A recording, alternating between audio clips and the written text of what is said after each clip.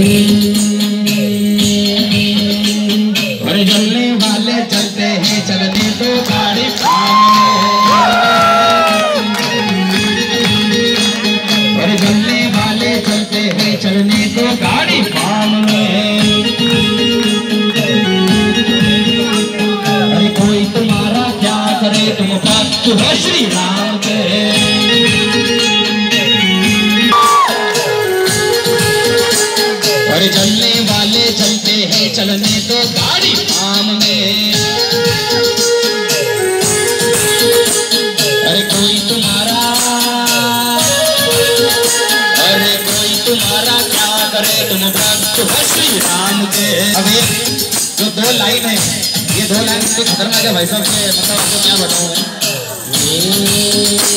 अरे सुन बेटा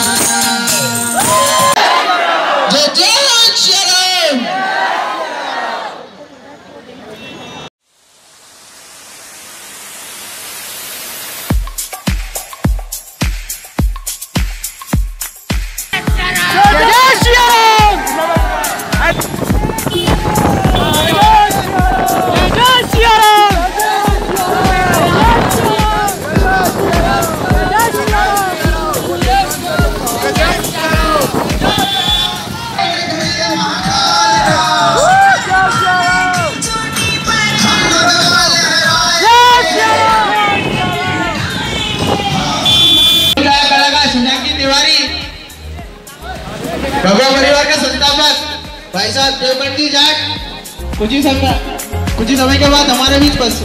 सभी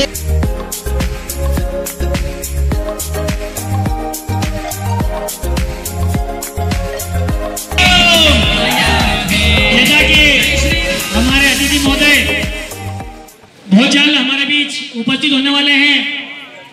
आदरणीय मुकेश जी मोलवा, राष्ट्रीय कवि एवं शशांक जी तिवारी कुंदनपुर लोकगीत गायक कलाकार अगले दस से पंद्रह मिनट में अपने बीच में मौजूद होंगे। बीच मुख्य अतिथि के रूप में भाई साहब शशांक जी तिवारी हमारे बीच उपस्थित हो चुके हैं। सभी से मेरा निवेदन है, हमारे बीच एक हमारे नगर में गायक कलाकार जो कि हमारे मध्य प्रदेश की शान बन चुकी है, हमारे बीच उपस्थित हो चुके हैं वो। भाई शशांक जी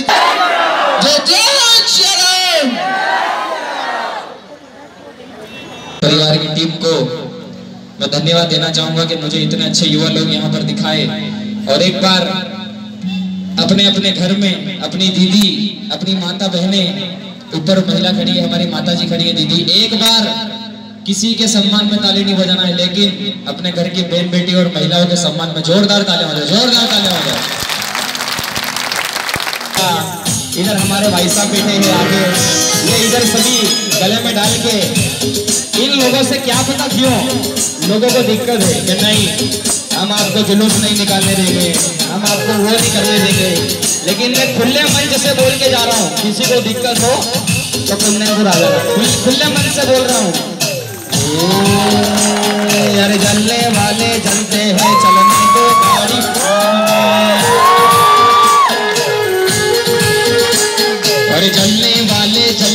चलने तो गाड़ी आम में। अरे कोई तुम्हारा, अरे कोई तुम्हारा क्या करे? तुम भक्त हो श्री राम के।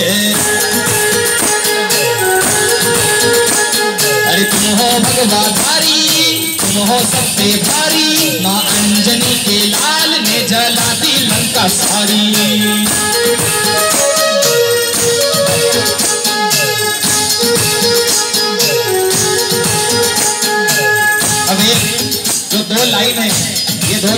खतरनाक है भाई साहब के मतलब आपको क्या बताऊँ। बेटा।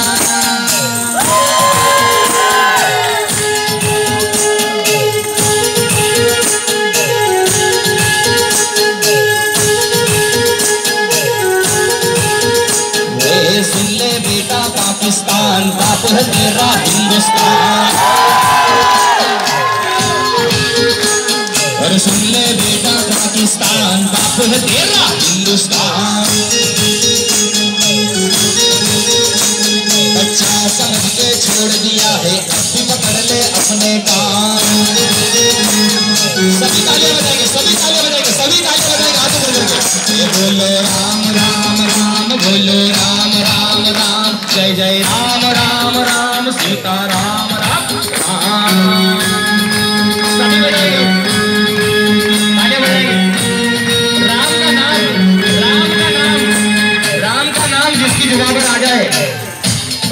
दो मिनट तक राम राम नाम बोले चलो ये बोलो राम राम राम बोलो राम राम राम जय जय राम राम राम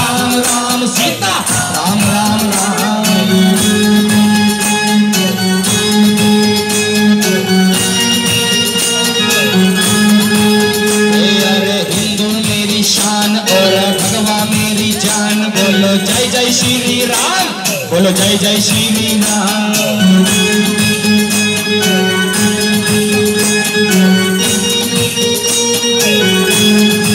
तो अयोध्या जाऊँगा, मंदिर वहीं बनाऊँगा।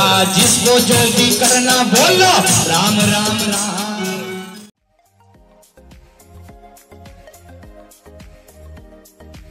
बानवे का दिन ही क्यों चुना गया? 6 दिसंबर उन्नीस सौ बानवे के दिन देश के धर्माचार्यों ने, ज्योतिषाचार्यों ने, प्रकांड विद्वानों ने मुहूर्त निकाला। मुहूर्त निकल कर आया 6 दिसंबर उन्नीस सौ बानवे। उस दिन गीता जयंती थी। उस दिन गीता जयंती थी। हिंदू समाज उससे प्रेरणा लेता है, उस गिरधारी से। उस नटवर नागर से उस कृष्ण कन्हैया से, जिसने कुरुक्षेत्र के मैदान में सीना ठोक के कहा कहा कि हाँ मैं भगवान हूँ और धर्म का युद्ध लड़ो। उसी गीता जयंती के दिन, वो गीता जयंती के दिन का मुहूर्त निकला।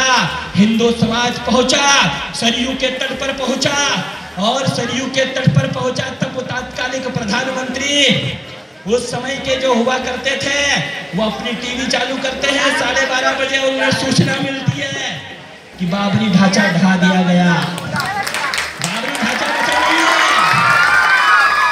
हम तो प्रधानमंत्री जी से भी कहते हैं कि आप अध्यादेश लाइए, वरना आप किसी अमेरिका अमेरिका का दौरा करने जाओगे और लौट कर आओगे तो पता चलेगा कि हिंदू समाज ने वहाँ मंदिर बना दिया है। समाज, राजनीतिक दलों राजनीतिक दलों के झंडे लोग जिनके लिए उनकी पार्टी ही केवल देश हो चुकी है। केवल उनकी पार्टी उनके लिए देश हुआ करती है। ऐसे लोगों को भी समझना चाहिए कि राम मंदिर ना तो राजनीति का विषय है, ना ही सत्ता को प्राप्त करने का मात्र साधन है। राम मंदिर करोड़ों करोड़ों जनों की आस्था का केंद्र है। राम मंदिर राम मंदिर इस देश की भावना है। राम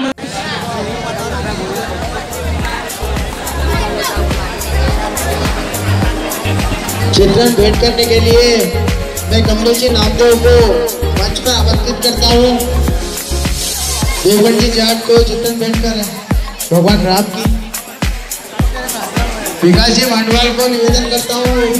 मंच पर आए सतीश जी चौहान को आमंत्रित करता हूँ मैं मंच पर।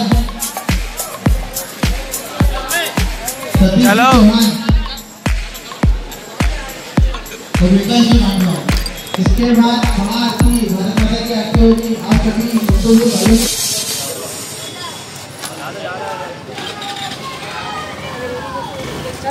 चलो।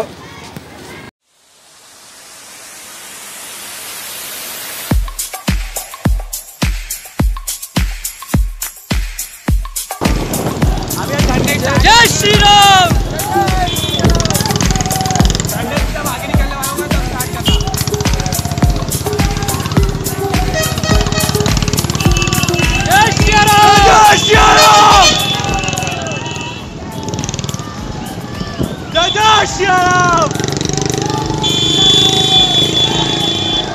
जय श्री राम जय जय श्री